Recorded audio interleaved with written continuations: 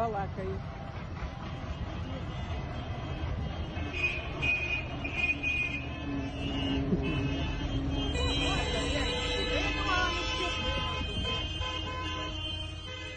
Я обещал вам, что мы победим. Мы победили! Слава России! А почему Оксимирон выбрал лозунг «русские против войны»? Просто чтобы не выбиваться из западной повестки? Почему вот э, так перекликается их лозунг, который они везде пропагандируют, «нет войне», с тем лозунгом, который был написан на нацистских листовках, которые забрасывали в э, окруженный блокадой город э, Ленинград. Э, русский лозунг всегда звучал «мы за мир», а «нет войне» – это то, что пропагандировали э, нацисты. Против них тут же были организованы карательные военные операции. И не одна. Их подвергли систематическим обстрелам из пушек. Наносили удары авиации. Именно избавить людей от этих страданий, от этого геноцида является основной, главной причиной военной операции, которую мы начали на Украине. А Сегодня Коношенко, по-моему, Коношенков, точнее, один из генералов заявил о том, что да, потери есть. Вот, потери российского Минобороны исчисляются 1300, по-моему, 50 человек, ну где-то так, за весь период боев. То есть мы видели три цифры. Первая – это нет потерь. Вторая – это 500 человек. И вот сейчас заявляют о 1350. А вот Скажем так, э, эта прогрессия, она чем объясняется? Они решили не скрывать тех, кого уже привезли в качестве погибших и там, не знаю, хоронят, и их действительно, как скрывать, если их больше 500 там в два с половиной, а то и три раза. Вот как это объяснить? Да, все очень просто, Марк. Это наша с тобой эфир. Только поэтому? В частности, и вся подобная кампания, которая, ну, информирование, которое ведется со стороны Украины. Ну, невозможно. Ну, как, как в России за информационный пузырь не сажают. Ну, вот нас сейчас сколько смотрит людей из России? Наверное, десятки Ну, сейчас нас... Э, не, ну, конечно, конечно. Да, По итогу да. посмотрит ну, очень много. И есть очень много результатов, которые люди, как по миллиону просмотров у тебя, у меня там или около того. Да. Значит, ясно, что, ясно, что люди понимают, что реально информация доходит. Скрывать это невозможно. Бесконечно обвинять. Ты же их обвинял несколько раз на протяжении крайних эфиров, что да. они не сообщают. По потере несколько раз эта да. тема существовала. Видимо, решили, вышли что-то сказать. Признали почти в два, в два и четыре раза больше. Как бы.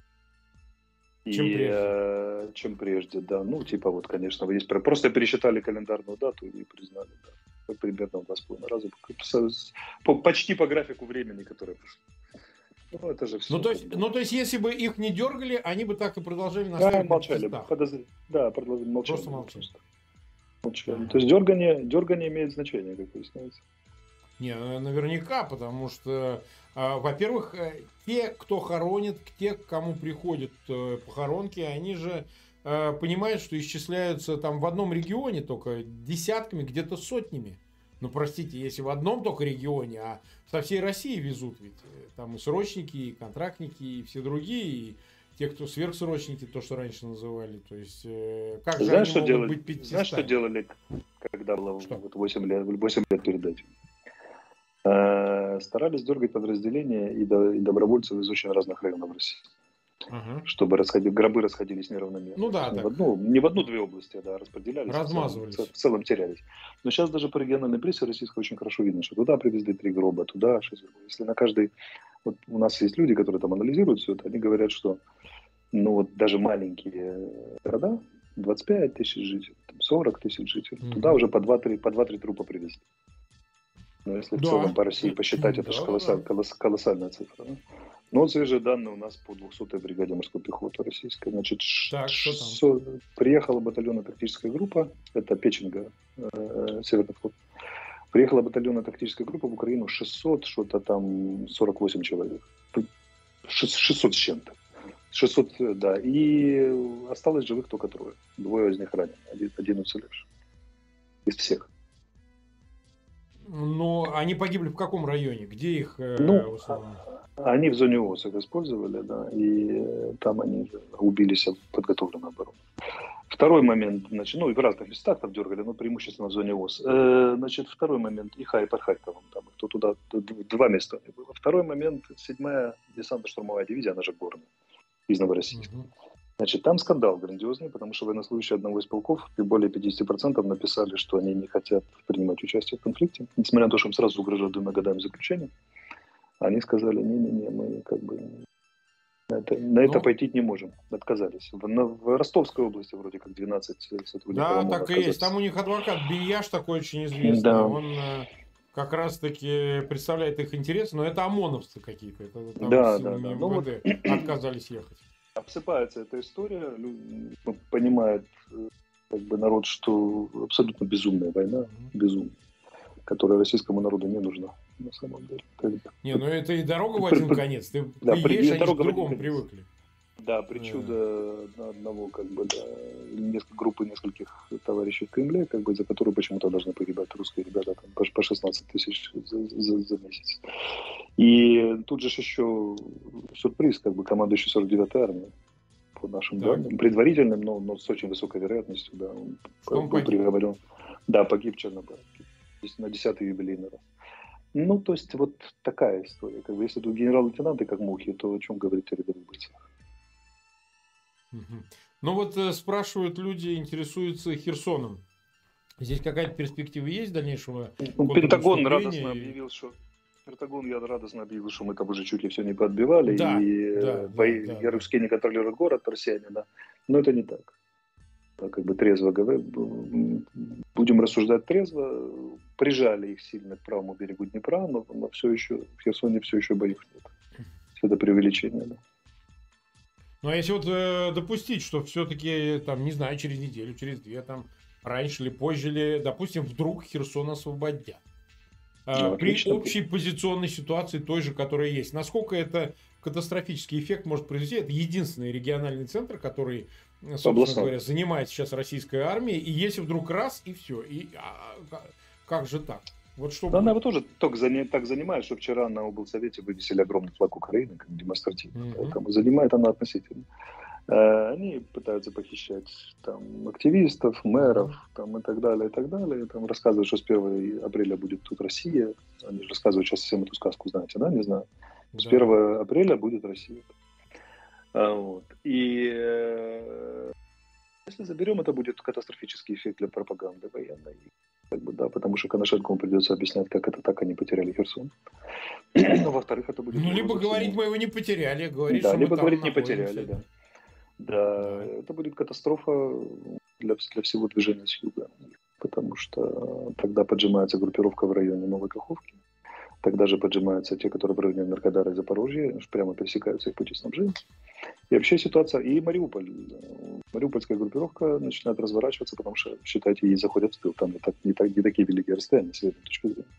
Поэтому тут у них может быть горе. Ну, прежде чем это горе сделать, это надо сильно постараться. Еще не, не все так просто. Воевать трудно. Поэтому вот это героическое взятие Херсона обратно, ну, не надо ждать его ни завтра, ни послезавтра. Это, это непросто.